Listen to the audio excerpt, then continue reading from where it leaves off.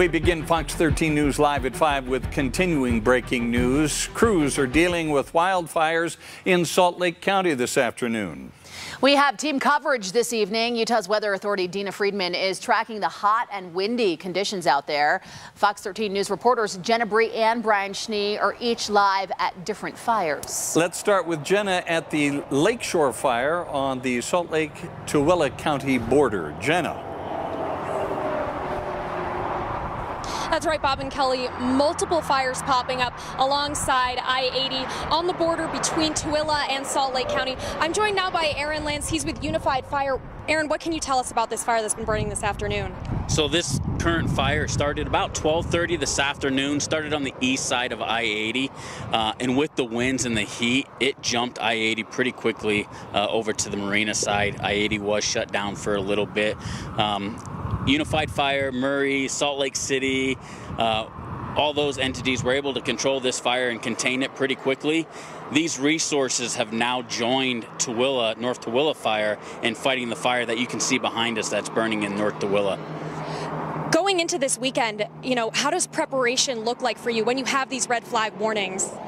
We just got to understand and, and, try to get um, the communities to understand it's hot it's windy, it's dry, so be very cautious of any fires that you may or look at your cars and maintain them brakes, catalytic converters, any chains dragging, it's going to spark any fire along the roadways and it could potentially be dangerous to communities. Absolutely. And I know Dina told us we're going to have some more winds this weekend, but what do you think just going into this summer, what the wildfire season is going to be looking like? Goes anywhere like it's going this weekend, it's it's going to be a long summer for us. Absolutely. Thank you so much, Aaron. And again, I-80, both lanes eastbound and westbound are open. No travel difficulties right now.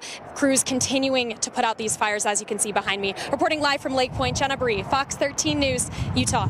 All right, Jenna, thank you so much. Let's go now to Fox 13 News reporter Brian Schnee, who is live in Bluffdale. Another fire earlier burning alongside the freeway there. Brian, what is the fire doing right now?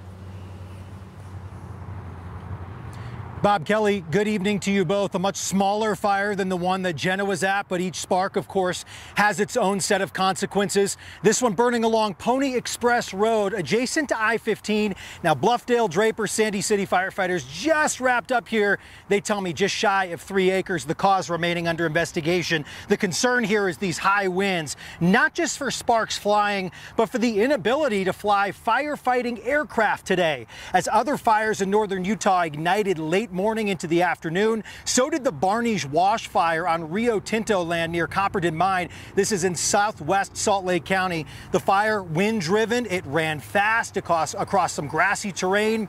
Dozers from Rio Tinto, as well as Unified Fire Authority personnel, worked on the fire. From our vantage point, the fire had a solid dozer line around it, but high winds continue to be a concern there, even with no flames present during our time in that area. Exact acreage is unknown on on the Barney's Wash fire. However, estimates approach about 100 acres.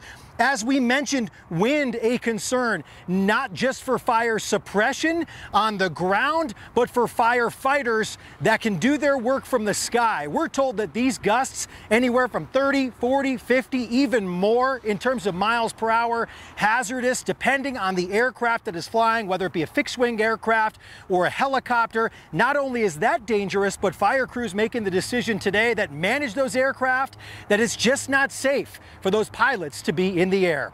We're live in Bluffdale tonight. Brian Schnee, Fox 13 News, Utah.